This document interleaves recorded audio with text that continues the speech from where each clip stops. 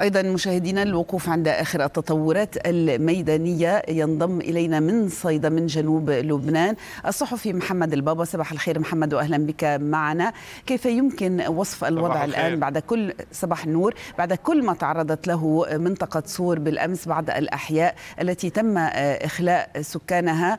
وبالتالي تعرضت للقصف كان هناك نزوح كبير. كيف هو الوضع الآن؟ وآخر مشاهداتك.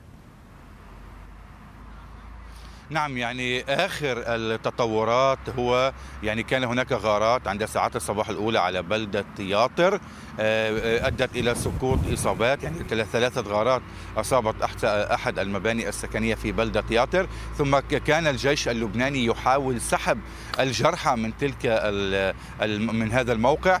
ثم أغار الطيران الحربي الإسرائيلي مما أدى إلى مقتل ثلاثة عناصر من الجيش اللبناني. بعدما أعلن الجيش اللبناني في بيان رسمي قبل قليل عن مقتل ثلاثة جنود لبنانيين من الجيش اللبناني بفعل غارة على بلدة ياطر أثناء محاولتهم لسحب يعني مصابين من غارة سابقة. أيضا يعني الدخان يعم ويعني نرى من مدينة صيدا دخان كثيف من بلدة عنقون بعد غارتين أصابتا موقع داخل تلك البلدة. حتى هذه اللحظة لا معلومات إن كان هناك مصابين في بلدة عنقون أو أو لا يوجد مصابين ولكن الدخان كثيف يعني حتى من من أطراف مدينة صيدا من مدخل صيدا الشمالي يمكن رؤية كثافة الدخان تخرج من تلك البلدة. الطيران الحربي الإسرائيلي منذ الثانية عشر أو منذ الحادية عشر ليلا حتى الساعة يعني حتى هذه اللحظة غار على عدة بلدات. مثلا كفر رمان الخيام مرتفعات الجبور عين بوسوار ميفدون معركي الطيبي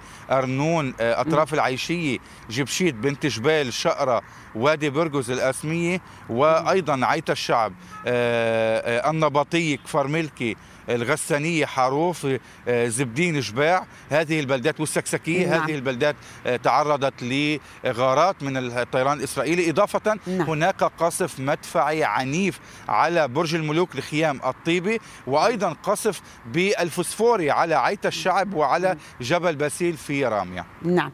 أيضا يعني محمد هل نفهم مما تفضلت به بعد تعرض بعد يعني القرى وهذا الكم الكبير من القرى الذي ما زال يتعرض للغارات؟ الإسرائيلية بأن هناك جرحى وأيضا ربما قتلى لا يمكن يعني إسعافها لا يمكن وصول سيارات الإسعاف لمساعدة هؤلاء. هناك تخوف من تحرك يعني فرق الإسعاف خاصة في القرى القريبة من الشريط الحدودي في قضاء سور في قضاء بنت جبال أو حتى في قضاء مرجعيون لأن المسيرات التي يعني لا تفارق السماء في جنوب لبنان هي تستهدف أي سيارة تحاول الانتقال بين بلدة وأخرى. يعني حتى هذه اللحظه هناك أكثر من 18 مسعف قضوا خلال هذه المرحلة أو خلال هذا الهجوم على لبنان يعني منذ ثلاثة أسابيع حتى اليوم. بفعل استهداف المسيرات لأي سيارة حتى دراجة نارية حتى آليات عسكرية للجيش اللبناني كانت سبق وتم استهدافها أثناء تنقلهم بين بلدة وأخرى. لذلك من الصعب يعني على يعني الفرق فرق الدفاع المدني التنقل للقيام بإسعاف الجرحى. يعني هناك من تبقى في البلدات من رجال وبعض العائلات هي تحاول إسعاف يعني بعضهم البعض خلال خلال قيام الجيش الإسرائيلي بغارات على تلك البلدات. يعني هل هل يمكن أن يصلوا إلى المستشفيات؟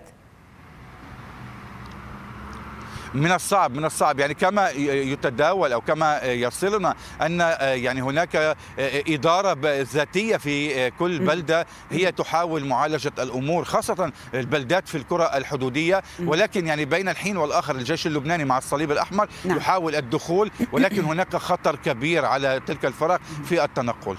نعم. هل من محصلة تقريبية لعدد القتلى والجرحى محمد؟ أو أنه من الصعب إحصاء يعني الجرحى؟ يعني نحن في نسمع من أن من السكان من النازحين أعداد القتلى كبير جدا لا يمكن إحصاء. هل هناك حصيلة رسمية عند يعني تصدرها وزارة الصحة؟ أصبح حوالي 2600 جريح وأكثر 2600 قتيل وأكثر من 10000 جريح ولكن الأرقام كبيرة جدا. مثلا يعني بالأمس أحدهم خرج من الذين نزحوا من الضاحية الجنوبية باتجاه صيدا قال لنا أنه عند استهداف يعني الأمين العام لحزب الله هذه الأبنية كانت مأهولة بالسكان ولكن هناك عائلات محيت بالكامل. يعني هناك عائلات كانت تسكن في أبنية سكنية تم تدمير الأبنية. حتى هذه اللحظه لا يمكن البحث عن ناجين لأن منطقة الضاحية تعتبر منطقة يعني غير آمنة. الطيران الإسرائيلي يقوم بالغارات أيضا في صور في النبطيه في كفر رمان في كفر جوز. حتى في عيتا هذه المناطق نعم. التي يعني تم تدمير أحياء بأكملها من الصعب الآن الدخول يعني بحرية والبحث عن ناجين أو نعم. مفقودين تحت الأنقاض لذلك هناك مفقودين بأعداد كبيرة ربما بعد انتهاء العمليات العسكرية قد تتضح الأرقام بشكل كبير نعم.